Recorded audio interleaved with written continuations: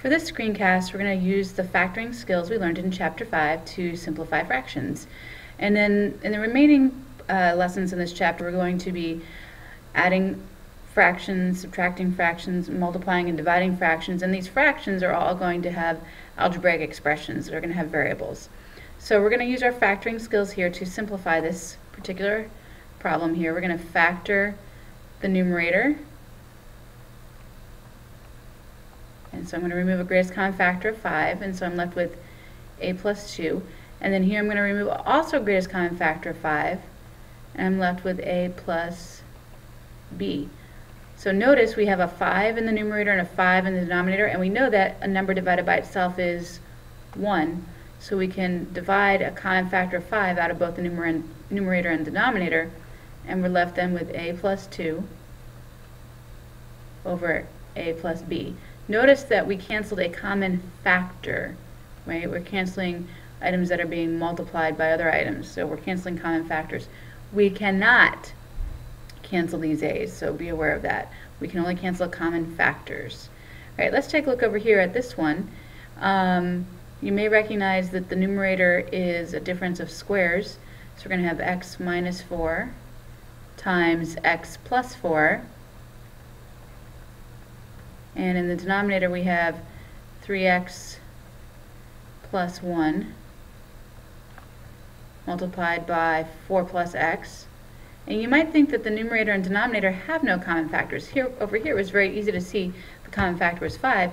You might think over here there are no common factors. However, if we take a number and add 4, we get the same result as taking 4 and adding a number. So these are actually common factors.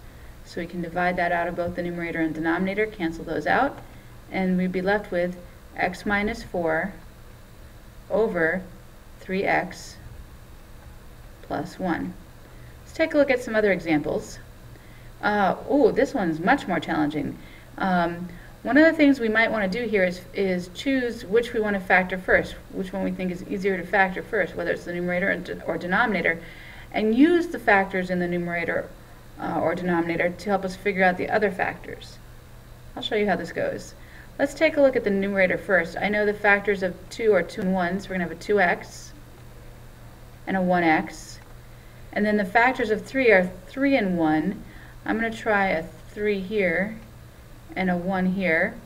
Um, we'd have a, a 3x and we'd have a 2x and I want those to differ, since there's a minus sign here, I want those to differ by 1x. I need it to be a positive 1x, so I'd want the negative to go here and the positive to go here. So we're going to have a plus 3 and a minus 1, like that. Let's erase my uh, little notes here to myself. So that's how the numerator factors. Let's factor now the denominator. The denominator has factors, uh, the 2 has a factor of 2 and 1, so we're going to have a 2 and a 1. And I know x times x gives me x squared. Since this is a negative x squared, I know I need a positive and a negative. Um, let's try a negative here and a positive here. Let's just double check to make sure our middle term does give us a negative 1x. So this would be a negative 2x and this would be a positive 1x, and those together do add to a negative x, so that looks good. So obviously 2x plus 3 and 2 plus x are not the same factor. And x minus 1 and 1 minus x aren't really the same factor either. These are opposites. Let's think about this a second. If I had 3 minus 5 over 5 minus 3, I'd have negative 2 over 2, which is negative 1. Or if I had 8 minus 6 over 6 minus 8, I'd have negative I'd have 2 over negative 2, which is negative 1. Or if I had uh, 12 minus 8 over 8 minus 12, I'd have 4 over negative 4, which is negative 1. Notice that the numerator and denominator here have the same numbers, they're just the subtractions in the reverse order. And so the result always ends up being a negative 1. So we can actually cancel these, and we have to leave a negative 1 behind here because a number divided by its opposite, that's essentially what we have going on here, a number divided by its opposite, number divided by its opposite is negative 1.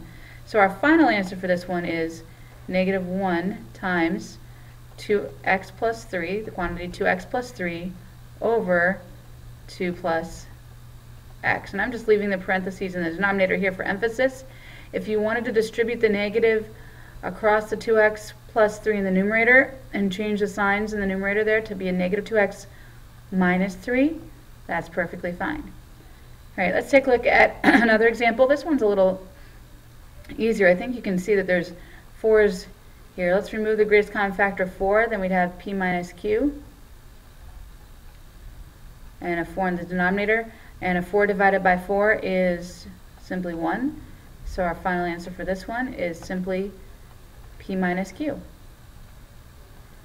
Um, I would not recommend canceling here because you might um, accidentally not cancel the 4's. For example, if you do this, you might think you're done and you would have forgotten that 4 also cancels with the 4 in the denominator. It's better to factor. Let's take a look at one last example here. I believe this is our last example. Oh, nope, we have two more examples. Let's take a look at this one. Um, notice in the numerator, everything is multiplied. There's no terms. Just a, it's just a monomial. Whereas in the denominator, we have a binomial, two terms. We can factor out an a and a b. And if I remove an a from this a squared, I'd be left with an a. And I've removed the b. And then I remove a b from the b squared, and I remove the a. We'd be left with an a minus b here. And now I take a look and realize, well, in the numerator, a squared is really a times a, and b squared is really b times b. In the denominator, we have an a times b times a minus b. So a factor of a can be canceled from the numerator with a factor of a from the denominator, and a factor of b from the numerator can be canceled with a factor of b from the denominator. So that leaves us with a times b in the numerator and a minus b in the denominator. All right, let's take a look at one last example here. Here, um, you might think we can cancel this 2x with this 2x, but we cannot do that because of the plus sign here. We need to cancel factors, and we've got addition going on here. Um, let me take a brief detour here to explain why what I just said isn't true. Um, when we cancel common factors, we're basically reducing the fraction to something that it's equal to. Um, let's say we have uh, 4 plus 2 over 2. Okay, you all agree that this is the same as 6 over 2 or 3. Well, if I do some canceling, when I cancel, I should get something that it is equivalent to 3 once I'm done. And so let's say some of you think that you can cancel these 2's, and you do this. Well, then you'd have 4 plus 1 over 1, which is 5 over 1. If this was a, a legal maneuver, um, I should end up with the same answer that I did up here, which obviously I didn't. 3 is not the same as, as 5 over 1. 3 is not the same as 5. So this is not a legal, uh, this bottom right here, is not a legal maneuver algebraically. Okay, we can only cancel common factors. We cannot cancel common, um, cancel terms. Um, if you wanted to factor, you could uh, factor out the 2, and you'd be left with this. And notice, then we can cancel our factors of 2, and then we're left with 2 plus 1, which is 3. So we could do it that way. So that's how we're going to approach this problem here. We're going to factor out a greatest common factor of x, and I'd be left with 2x plus 1. Don't forget, we have to have that 1 since we had an x here. Remember, you can always check this by multiplying. x times 2x gives us 2x squared, and x times 1 gives us x. And then we have a common factor of x that can be canceled.